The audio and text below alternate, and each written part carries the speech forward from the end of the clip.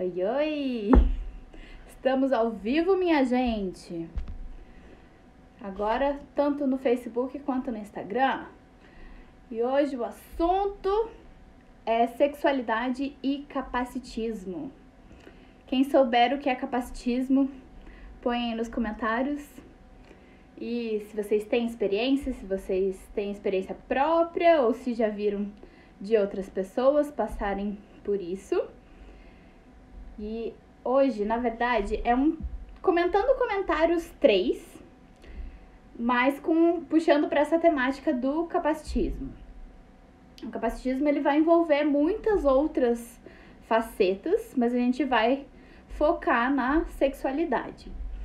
Então, para quem está chegando e para quem estava desantenado nos últimos dias, eu lancei faz uma semana e meia que eu lancei a campanha hashtag me paquera com respeito. E aí tô trazendo a repercussão, os comentários, tem muito, muito disso que tá rolando em grupos privados do Facebook, então infelizmente não tão para todo mundo, mas vários, desse, vários desses debates e é, compartilhamentos de experiências estão é, para todo mundo. Então, você procura a hashtag Me Paquera com respeito no Facebook, no Instagram, é, também lancei há pouco tempo no Twitter.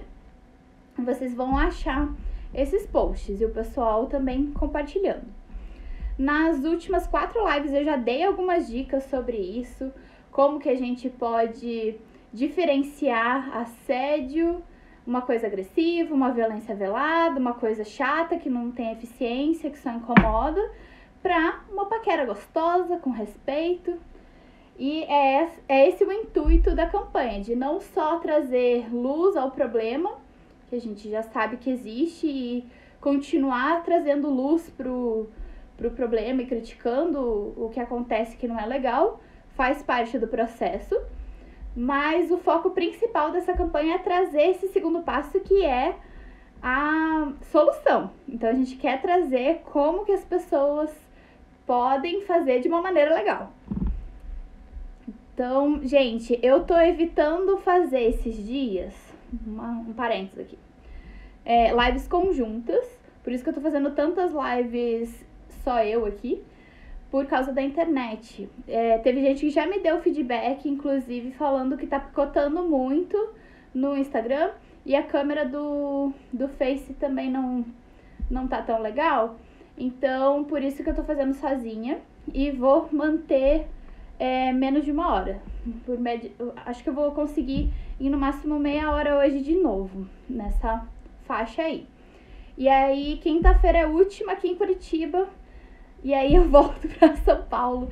Então vai voltar a uma internet melhor e provavelmente lá no Rio vai estar tá boa também.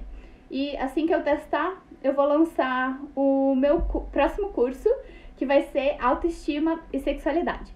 Então fiquem ligadinhos aí, ligadinhos, ligadinhas, ligadinhos para as novidades do próximo curso. Enquanto isso, os meus serviços que vocês podem obter a qualquer momento, com curso, sem curso, são ah, os atendimentos online, tanto individuais quanto para casais, trisais, quadrisais, etc.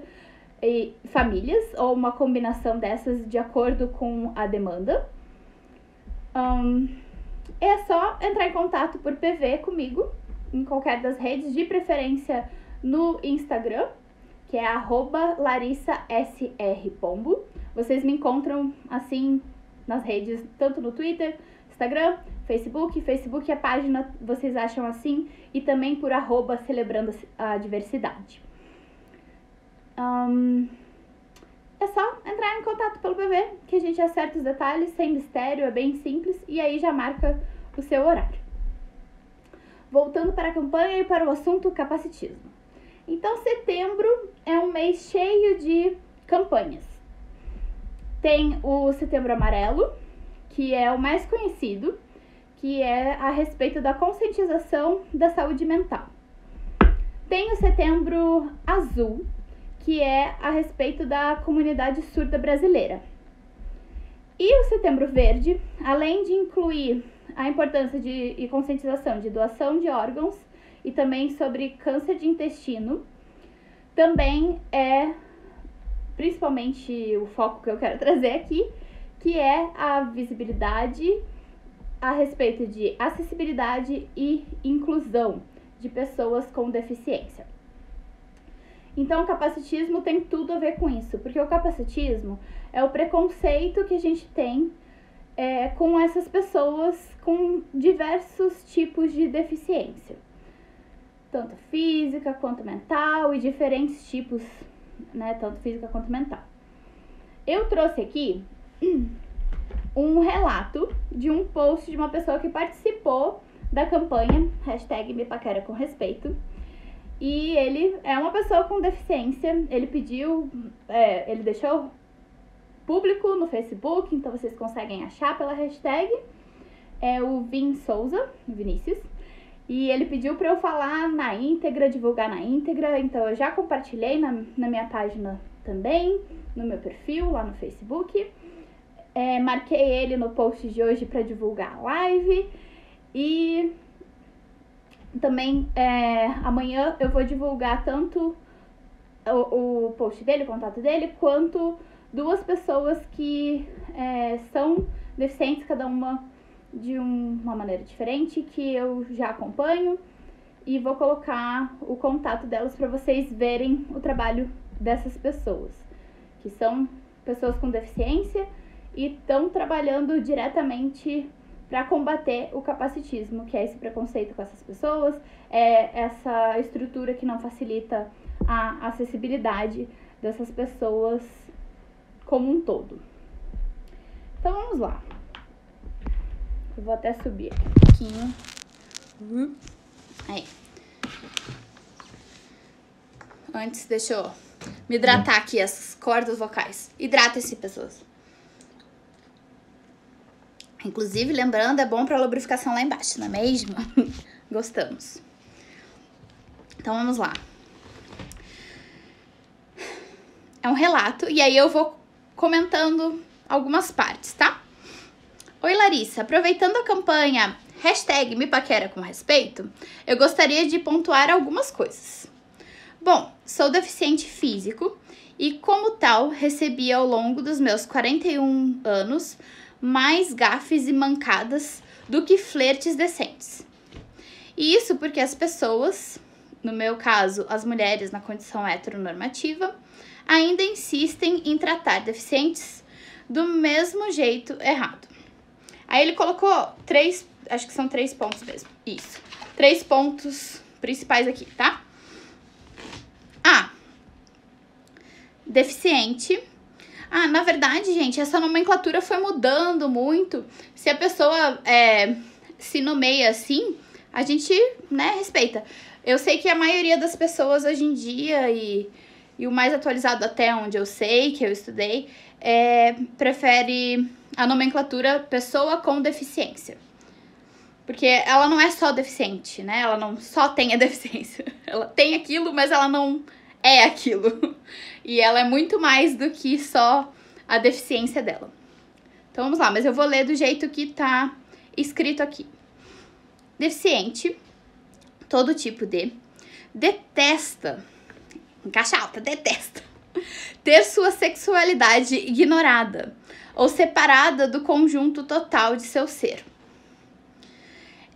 Isso é uma coisa que eu comentei, né, na live anterior, que o capacitismo nessa área de sexualidade, a gente tem essa tendência em é, ou ignorar no sentido de achar que a pessoa não tem desejo sexual, que não transa, não quer fazer isso, não quer casar, não quer ter relacionamentos, e ou então infantiliza muito isso. E isso é um problema bem grave que eu já vou comentar mais pra frente, além das colocações do Vinícius, tá? Eu mesmo, caixa alta de novo, odeio quando minha inteligência recebe elogios, ou minha conduta moral, ou minha conduta ética de uma mulher. Eu sei que sou inteligente, eu sei que sou boa praça, eu sei que sou honesto. E adivinha só, eu não sou isso para agradar ninguém. Eu sou isso por causa de minhas convicções pessoais. Ou seja, eu faço isso exclusivamente, caixa alta, para mim. O que eu esperava das mulheres? Elogios ao meu corpo físico, à minha aparência. É detestável quando consideram apenas o cérebro e o caráter de um deficiente físico, sendo que ele, como ser humano, é muito mais completo que isso. Elogiar a inteligência ou as atitudes de um deficiente equivale a só notar os seios de uma garota. Por favor, mulheres e pessoas não deficientes, nunca mais façam isso. Se você não pode elogiar um deficiente da cintura para baixo, não perca seu tempo e o tempo dessa pessoa elogiando o deficiente do pescoço para cima. Deficientes sabem muito bem a diferença entre elogios sinceros e elogios vazios. Eu achei o máximo que ele botou comentários extras no final de cada um. Sim, Luísa, é com você mesmo.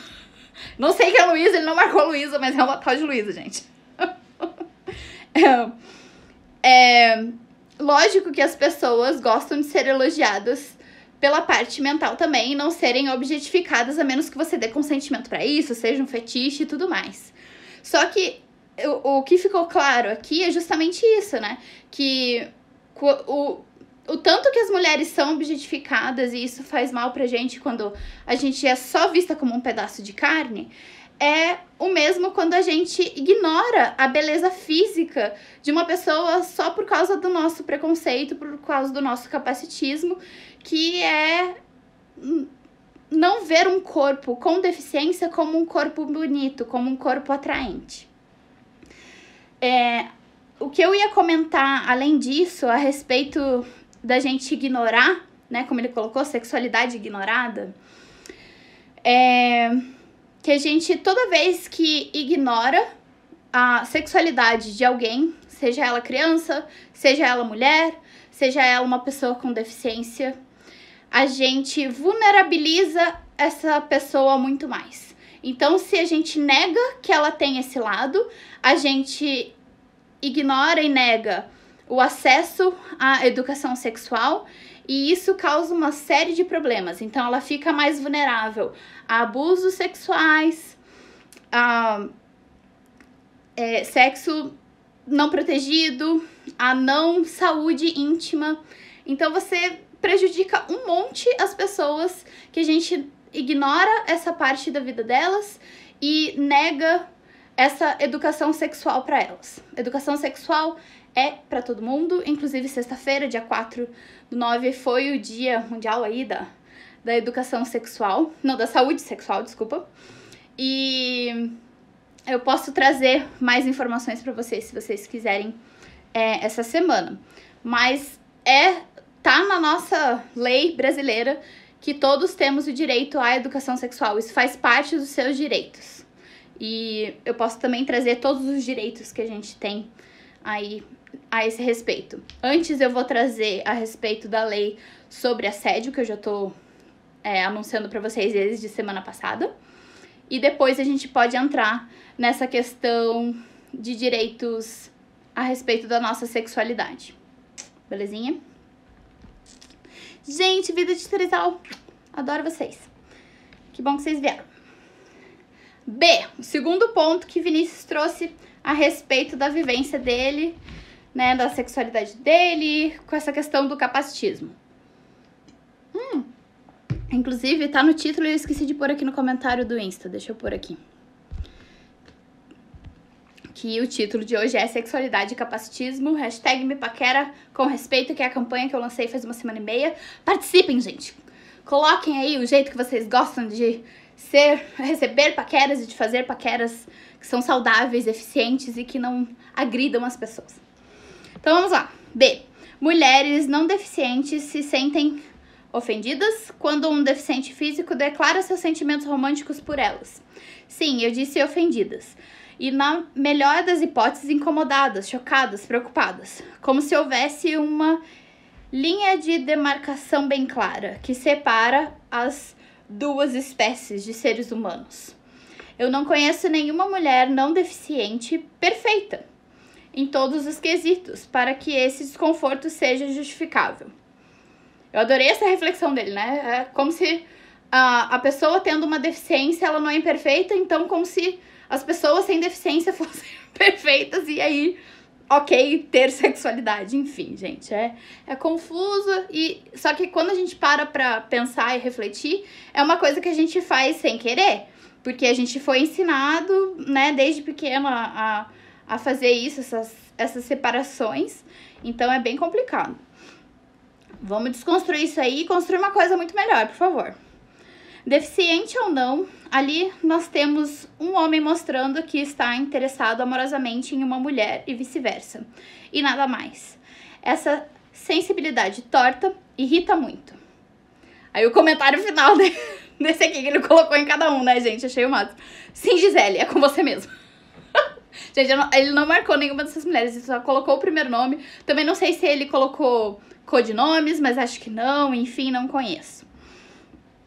É, e tá em público. Então, como, como não tá marcada a pessoa, eu não pedi para pagar nem nada. Então, né, existem milhões de Luísas e Giseles aí no mundo, então não sei quem ele conhece, o que, o que exatamente aconteceu.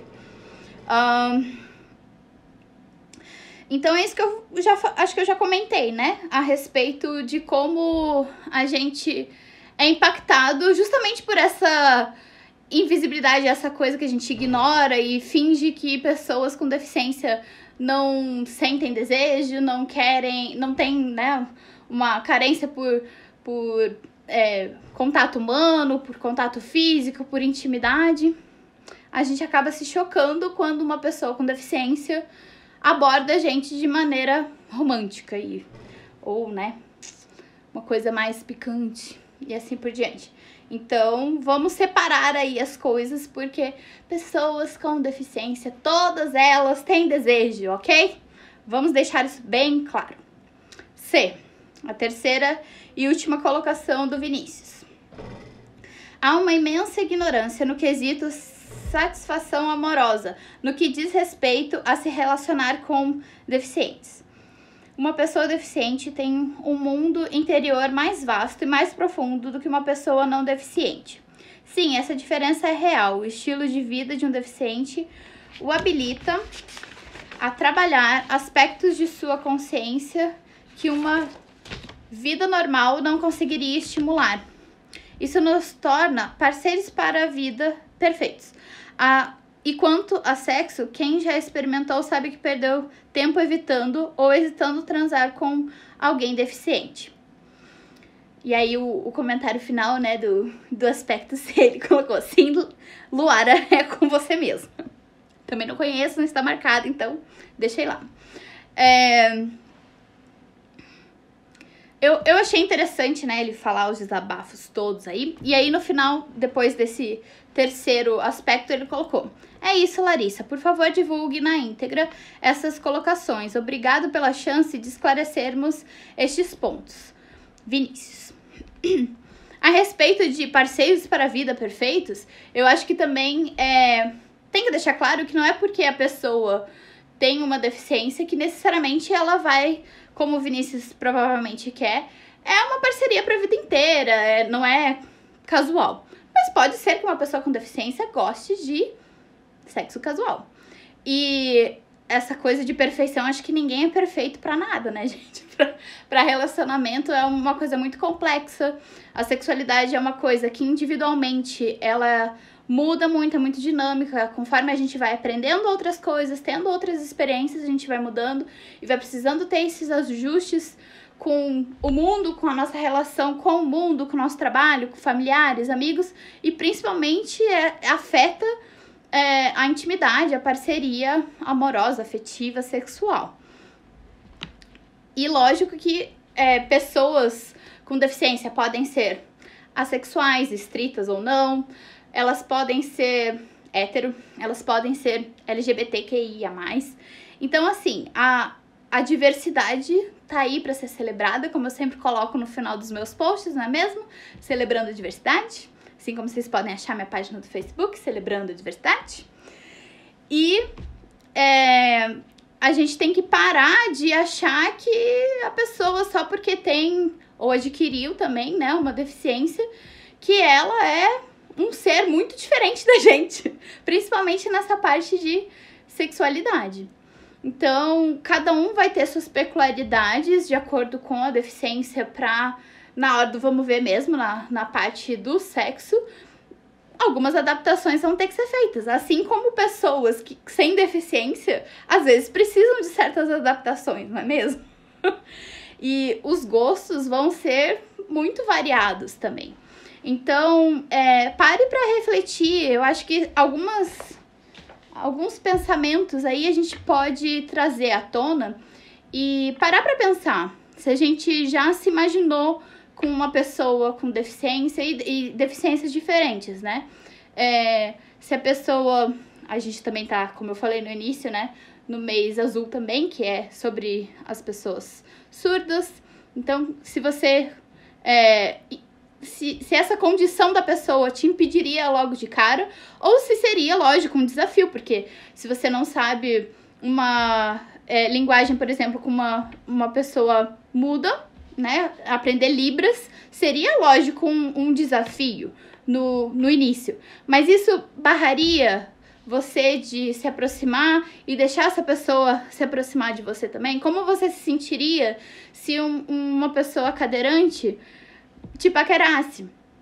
Então, são todas essas reflexões que a gente precisa trazer à tona e desconstruir. Se a gente fala logo de cara que não, não quero, não vou barrar, as pessoas são muito mais do que o corpo delas. E eu acho que a gente é, faz umas fantasias muito torpes de que as dificuldades são muito maiores do que elas realmente são depois que a gente supera esses pequenos desafios do início, essas adaptações e, e aprendizados mesmo da convivência com essas pessoas. E esses ajustes específicos que a gente tem que fazer com essas pessoas. Então, bora refletir. Se vocês quiserem colocar nos comentários o que, que veio à tona na cabeça de vocês, se, nossa, realmente eu nunca me imaginei com, com uma pessoa é, com deficiência, é, eu acho que eu ia me sentir um pouco deslocada se uma, uma pessoa com deficiência me abordasse de um jeito né, de paquera, de flerte, se já aconteceu, se não aconteceu. É, então vamos, vamos trazer esses, esses pensamentos, essas reflexões para realmente é, fluir a coisa e melhorar. A gente tem que desconstruir e construir coisas melhores. Não adianta também se sentir super mal. Meu Deus, como eu sou uma péssima pessoa porque eu pensava assim. A gente é ensinado a, a pensar assim por inúmeros motivos aí históricos, né? A gente teve é, bem forte essa parte é, da deficiência, por exemplo, em vários momentos ridicularizando em circos. A gente teve a, no nazismo, né, a, a, a condenação desses corpos com deficiência como pessoas inferiores. Então tem uma série de questões que são socioculturais, históricas, que trouxeram esses preconceitos muito incrustados na gente e no nosso dia a dia. É, o Brasil ainda está muito é, atrás de acessibilidade também. Então a gente não tem raramente a gente vê essas pessoas na rua, elas ficam muito em casa porque o acesso é muito difícil. Então, em, em, países que a acessibilidade é muito melhor, as pessoas saem muito mais de casa. Então, muito mais pessoas têm é, contato direto e frequente com pessoas com diferentes é, deficiências. Então, se você, por exemplo, for é, construir algum lugarzinho aí, né, comercial ou coisa assim, tente trazer essas reflexões. Como eu posso deixar esse ambiente acessível para cadeirante, alguma coisa para ajudar pessoas, né, que são surdas, né, outras que tenham, enfim, diferentes deficiências, como que a gente pode facilitar a vida dessas pessoas de alguma maneira, se é possível que a gente o faça. E também essas questões mais pessoais mesmo, né? Como que a gente barra amizades, como que a gente barra contratação de pessoas e querer trabalhar com, com pessoas com diferentes deficiências, como a gente barra se relacionar afetivo, romanticamente, sexualmente com pessoas com diferentes deficiências. Então essas reflexões todas são muito válidas, muito importantes e não se culpe, não se martirize. Meu Deus, como eu sou uma pessoa péssima se eu penso assim. E essa consciência de, de ter essas barreiras, de pensar dessas maneiras limitadas, é o primeiro passo para a mudança. Então, reconhecendo que a gente tem essas, essas deficiências de pensamento, a gente pode mudar. A gente pode desconstruir isso e caminhar para um, um, uma maneira melhor de tratar essas pessoas. É, se você é uma pessoa com deficiência, né, que pode. É, você não tem a obrigação de ficar ensinando as outras sobre isso, né? Mas se você tem essa vontade de que mais pessoas entendam, fale mais, publique, coloque na internet, busque pessoas que tenham visibilidade, que podem dar voz a você. É, eu, eu quero trazer né, várias pessoas com diferentes deficiências para falar com a gente, específico, focando principalmente na parte da sexualidade. É, mas no momento eu tô evitando fazer lives conjuntas, como eu já falei pra vocês. E eu já tenho, na verdade, programadas algumas lives que eu adiei por conta da internet aqui, meio capanga.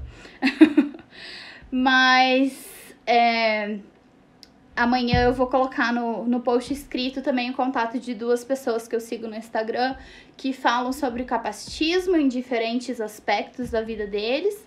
É uma mulher, um homem com deficiências diferentes. É... Ela não tem uma mão, ele é cadeirante, inclusive gay, é casado com uma pessoa, com um homem sem deficiência. É o Vitor e a Esqueci o nome dela. Porque no, no, no YouTube é outro nome, que ela não põe o nome dela. É Vai Uma Mãozinha Aí, eu acho. Mas eu vou colocar direitinho. Gente, eu pra decorar nome eu tenho uma certa dificuldade. Eu vou colocar no post amanhã o arroba certinho, divulgar tanto no Facebook quanto no Instagram. Talvez no Twitter também. Eu preciso aprender a publicar mais no Twitter. Me sigam no Twitter também, gente. Vocês me acham nessas redes todas: Facebook, Instagram e Twitter, arroba. E o meu YouTube também, Larissa SR Pombo. Vão lá se inscrever, gente. E para quem quiser os atendimentos online, rolam sempre com ou sem curso vendendo e acontecendo. PV, a gente marca o horário, vê certinho, sem mistério. E é isso, gente. Tanto individual quanto para casais, trisais, quadrisais, etc. Famílias, combinação dessas, de acordo com o que você precisa. Gente, muitíssimo obrigada. Hoje eu quero manter mais curtinha mesmo. Vejam o replay para quem chegou depois, que eu vi que muita gente chegou depois. E eu sei que a internet não tá ajudando, então tá picotando um pouco ao vivo. Tá bem melhor de assistir, infelizmente, só no, no repeteco, né? No replay. Coloquem aí nos comentários os pensamentos que vocês tiveram, as reflexões, como vocês se sentiram se imaginando nessas situações. Um, se você é uma pessoa que passa por isso também, como são as suas experiências. E participem da campanha, não é mesmo? Hashtag me paquera com respeito. E é isso, gente. Até mais. Mua!